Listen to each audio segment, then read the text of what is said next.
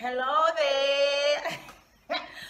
okay, hi guys, and welcome to DIY Sundays with Bullz, my very first episode on YouTube. I hope you guys will enjoy the DIYs project that I will be sharing with you guys.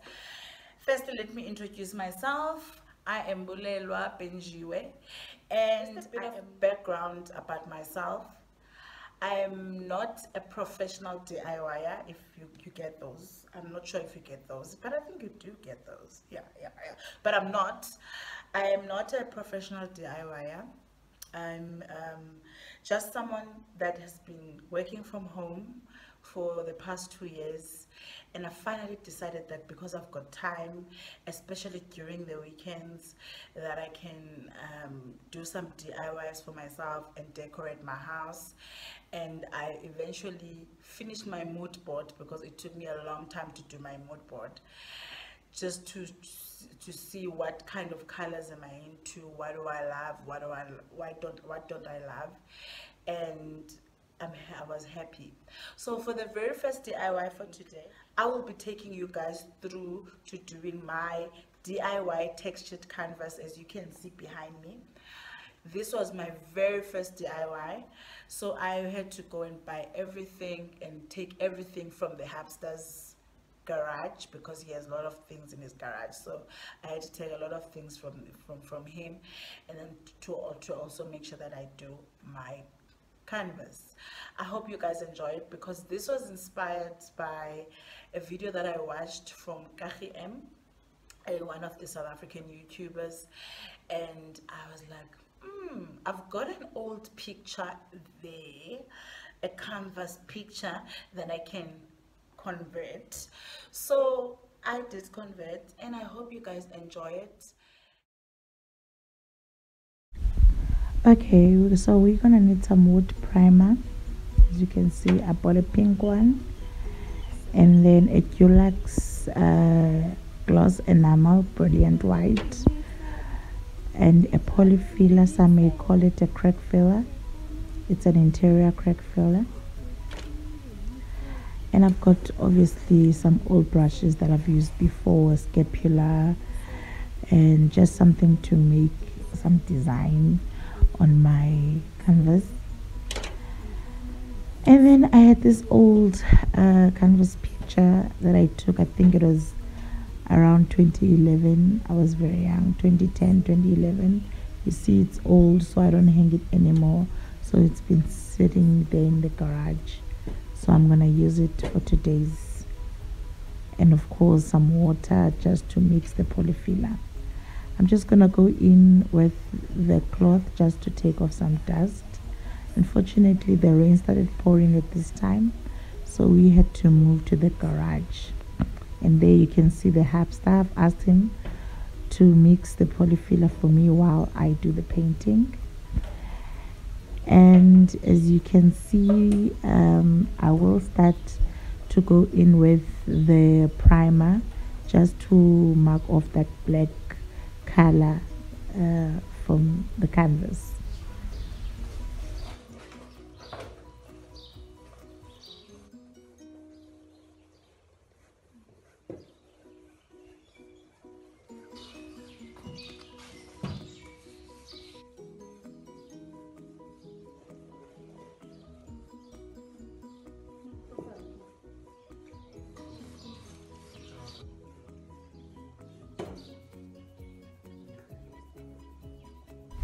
okay now at this point i'm getting a lecture from the hamster as to how to bright to paint.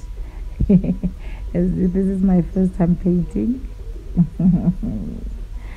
So yeah he's giving me a lecture there.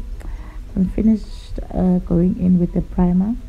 I've done it on both all four sides and on top.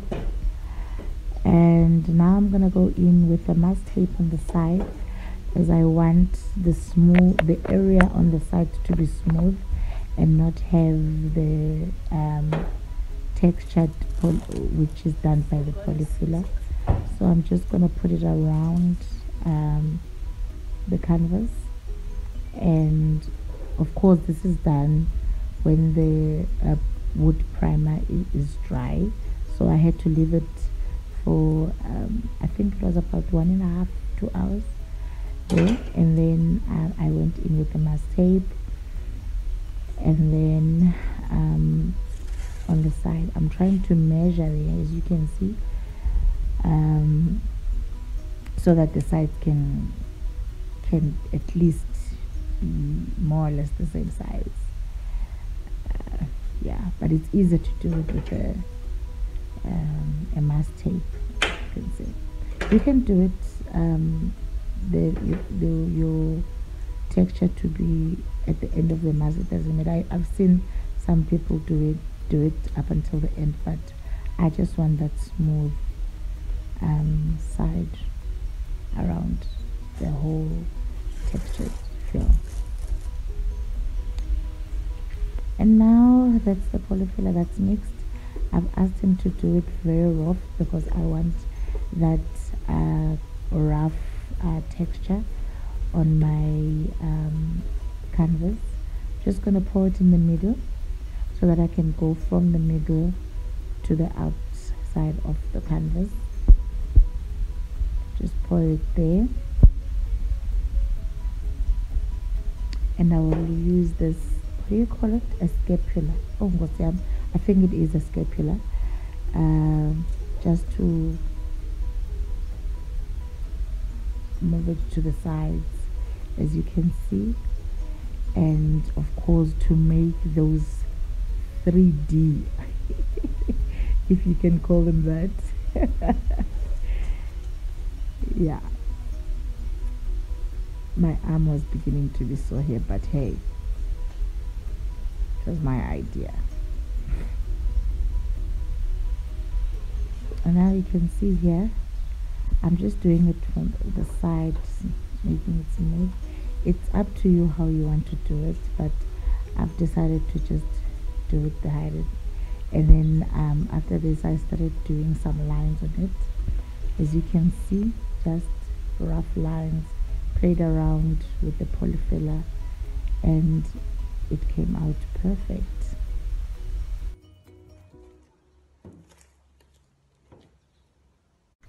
It is now after a few days, and as you can see, the canvas has dried out. I think it was about two days because I couldn't have, I didn't have time to go and paint it. But as you can see, all the patterns that I want, and also on the sides, everything is dry. I'm happy. Now, the first thing that I'm gonna do is to remove the mask tape from the side from the side so that we can achieve that uh, smooth sides of the canvas. As you can see it's it's I'm removing it very nicely so that I don't uh, interfere with the prick uh, filler on the side. And I'm cleaning the side so that we don't have any um, on the prick fillers on the sides. And we have to be very very careful uh, because some of the of the crack filler is just too hard. So I made sure that I do it very carefully. Okay now we're gonna start to paint. Um, painting it with that white brilliant white Dulux gloss enamel paint. Um, uh, yeah. Yeah and start with painting. Ooh, it it's, it's very nice very moist. And I'm also gonna go in on the sides of the paint in the smooth paint.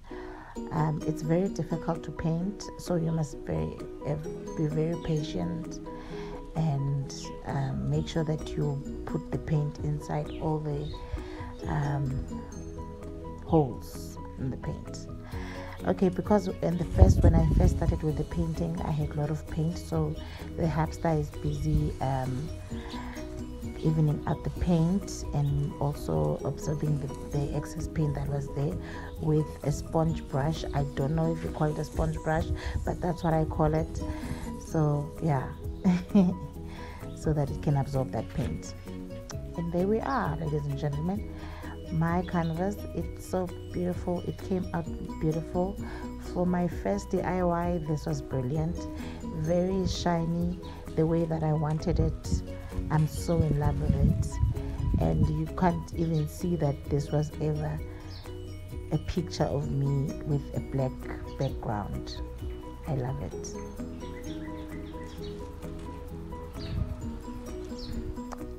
And I had to find, of course, um, a corner in my house and this is how it came out. And this is how I've designed it. Because we're moving soon so I didn't want to put in any nails on the wall or anything. So I just put it there in the corner until we move to our new house where I would find a perfect place for it on the wall. Thank you very much for watching. I hope you enjoyed my DIY